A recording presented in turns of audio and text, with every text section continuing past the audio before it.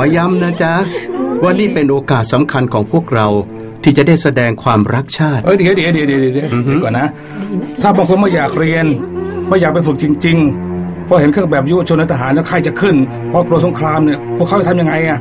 ก็ให้หุบปากเงียบเอาไว้ อืมเพราะว่ารัฐบาลไม่ได้ขอร้อง แต่บังคับสำหรับคนที่คิดจะบ่ายเบี่ยง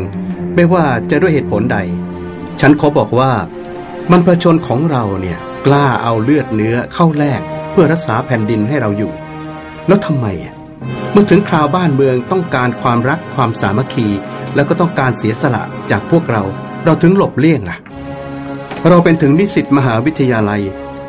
พวกเราไม่คิดจะอายคนโบราณ ที่มีความคิดและความกล้าของท่านที่ยิ่งใหญ่บ้างเหรอ